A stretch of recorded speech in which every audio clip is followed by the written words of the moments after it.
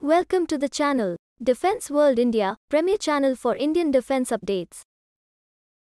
India has again carried out the test launch of Agni 3 missile. The all-solid stage, nuclear-capable Agni 3 missiles comes with a range of 3000 to 3500 kilometers with a payload of 1.5 tons. The tests were user trials by Strategic Forces Command to validate operational parameters.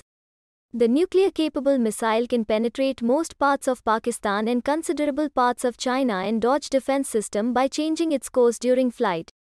It must be noted that India has already operationalized Agni 5 as well with range in excess of 5000 kilometers. INS Mormugao, the second ship of the Project 15B has been received by the Indian Navy. The 163 meters ship with displacement of 7,300 tons is the second of the four stealth guided missile destroyers that were conceptualized in 2011 to be built by Magazon Docks Limited. All ships of another class of destroyers under Project 15A or Kolkata class has already been inducted while two ships from Project 15B are yet to be delivered. The destroyers can carry 120 missiles, BrahMos missiles, anti-submarine launchers and also come with 76mm Super Rapid gun mount. IAF has shown interest in placing orders for next-generation anti-radiation missiles NGARM, which are capable of searching and destroying enemy radars. The NGARM Rudram has already been tested from Sukhoi 30 platform. Rudram, India's indigenous anti-radiation missile can strike at 2 Mach and equipped with passive homing heads that tracks radiation at different frequencies and can track radars even if they are not operating.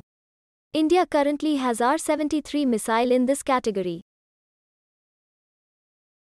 Kalyani Defense Systems has developed MAG-ER, Mountain Artillery Gun Extended Range, system.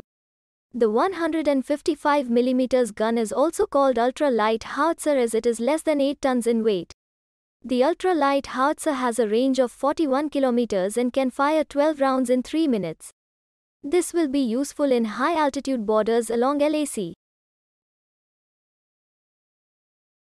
India has decided to buy 11 more Chinook helicopters. 15 of the Boeing-made heavy-lift helicopter, Chinook, is already bought by India. Addition of 11 more will make India one of the largest operators of Chinook. India initially bought 15 Chinook helicopters in 2015.